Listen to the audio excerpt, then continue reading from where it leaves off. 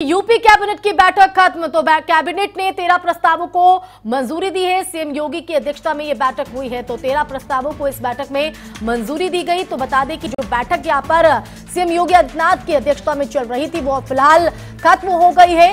कई मुद्दों को लेकर यहाँ पर चर्चा हुई है तो वहीं कैबिनेट ने तेरह प्रस्तावों पर अपनी मोहर लगाई है। तो ये बड़ी खबर इस वक्त की, कैबिनेट ने तेरह प्रस्तावों को मंजूरी दी है तो यूपी कैबिनेट की बैठक जो चल रही थी वो फ़िलहाल खत्म और सीएम योगी आदित्यनाथ की तरफ़ से इस बैठक की अध्यक्षता की गई और तेरह प्रस्तावों को लेकर जो है मुहर यहाँ पर कैबिनेट की लगी है।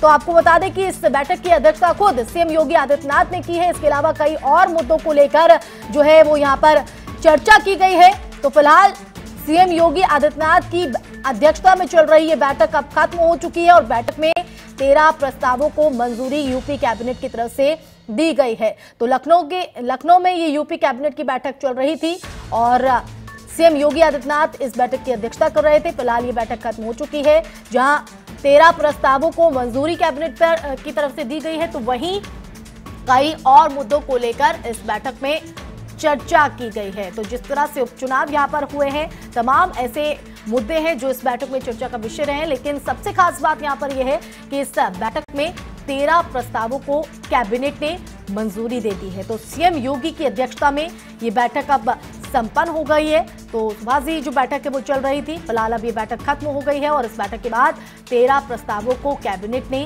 मंजूरी दी है।